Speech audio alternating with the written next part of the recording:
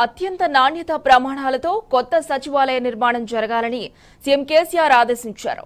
నూతన సచివాలయం నిర్మాణాన్ని పరిశీలించిన ఆయన అణువణువు కలియదిరిగారు.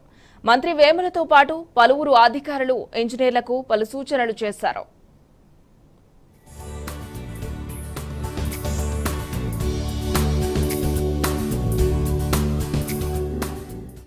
కొత్త సచివాలయ నిర్మాణ ప్రక్రియ శరవేగంగా కొనసాగుతోంది. ఈ మేరకు కొత్త సచివాలయ నిర్మాణ పనులను సీఎం కేసీఆర్ పరిశీలించారు.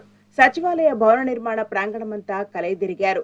ప్రధాన గేట్తో పాటు ఇతర గేట్లు నిర్మించే ప్రాంతాలను భవన సముదాయం నిర్మించే ప్రాంతాన్ని నూతన సచివాలయం డిజైన్లను పరిశీలించారు.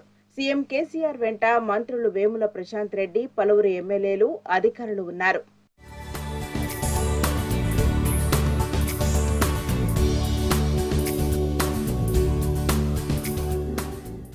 తెలంగాణ స్వయం పాలనలో ప్రజా పరిపాలన అత్యంత పారదర్శకంగా సాగుతున్నదన్నారు సీఎం కేసీఆర్.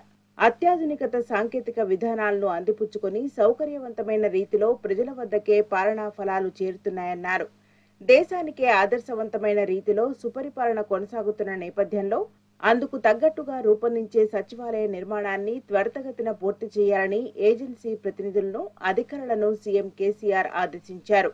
ఏడేళ్ళ తెలంగాణ స్వరాష్ట్రంలో సాగుతున్న ఆదర్శవంతమైన పరిపాలనకు కేంద్ర బిందువుగా ఉండే సెక్రటరియేట్ నిర్మాణ కౌశలం మన పాలనా రీతులకు అద్దం పట్టే విధంగా గౌరవం ఉట్టిపడేలా ఉండాలన్నారు. తెలంగాణ ఏర్పాటు అనంతర పరిస్థితుల్లో సిబ్బంది మరింత ప్రశాంతంగా తమ విధులను నిర్వహించుకునే విధంగా సచివాలయ నిర్మాణం ఉండబోతుందని తెలిపారు. ప్రజల వద్దకే నేరుగా పాలనా ఫలాలు చేరుకుంటున్న ప్రస్తుత తరుణంలో అందుకనుగుణంగానే నూతన సచివాలయాన్ని అన్ని హంగులతో నిర్మిస్తున్నామన్నారు.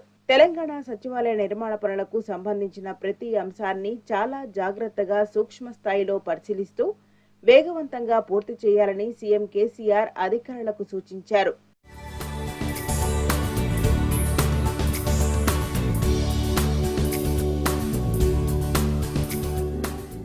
సెక్రటరియేట్ ముందు చుట్టుపక్కల నుంచి వర్షపు నీరు పోవడానికి అనువైన విధంగా వరద నీటి డ్రైనేజీ వ్యవస్థను నిర్మించాలన్నారు సీఎం కేసీఆర్.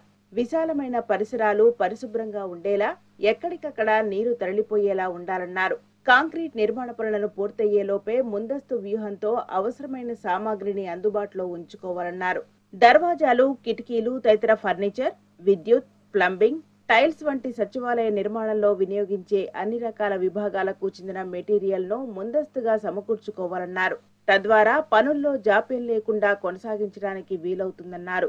అటు సచివాలయ ముఖద్వారం బయటి గేటు నిర్మాణాలు వాటికి అమర్చవలసిన గ్రిల్స్ తదితర అంశాలను సీఎం కేసీఆర్ స్వయంగా పరిశీలించి పలు సూచనలు చేశారు.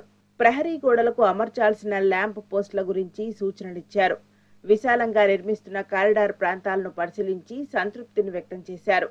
సీఎం సీఎస్ సహా మంత్రుల కార్యాలయాలు ఇతర సిబ్బంది సాధారణ పరిపాలనా అధికారుల కార్యాలయాల నిర్మాణ వివరాలను తెలుసుకున్నారు.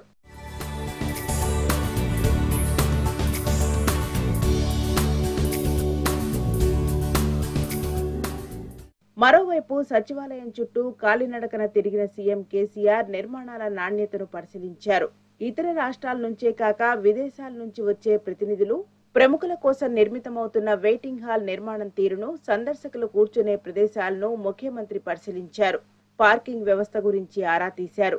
కార్లు టూ వీలర్స్ బస్సులు తదితర వాహనాల పార్కింగ్ స్థలాలను పరిశీలించారు. హెలీప్యాడ్ నిర్మాణం గురించి తెలుసుకున్నారు. దివ్యాంగులు వయోవృద్ధులు తదితర సందర్శకులు సెక్రటరియట్కు వచ్చే వీఐపీల కోసం తీసుకోవలసిన ప్రత్యేక చర్యలను సీఎం వివరించారు. అవసరమైన వారి కోసం బ్యాటరీతో నడిచే వాహనాలను ఏర్పాటు చేయాలన్నారు. సచివాలయ నిర్మాణంలో కీలకమైన గ్రౌండ్ ఫ్లోర్ నిర్మాణ పనులు పూర్తయిన నేపథ్యంలో ప్రత్యేక చర్యలు చేపట్టి పై అంతస్తుల పనులను వేగంగా పూర్తి చేయాలన్నారు. అందుకోసం ఎటువంటి చర్యలు తీసుకోవాలో చర్చించి ఆ దిశగా కార్యాచరణ ప్రారంభించాలని సీఎం కేసీఆర్ అధికారులకు సూచించారు.